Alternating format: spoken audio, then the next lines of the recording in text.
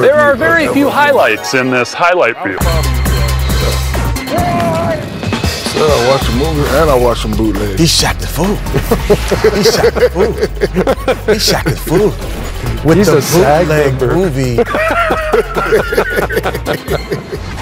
All right, Jack, what you got? Number one, Dwight Howard. Superman pulls the chair on oh, himself. Come on. Go ahead and say it, Kenny. Uh, Superman is in the building. And I believe. Come on. Come on, uh, Dwight.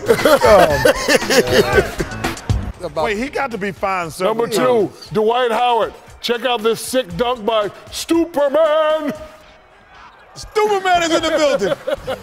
Come on, Dwight. Come on, good pass. Superman. Superman is in the building.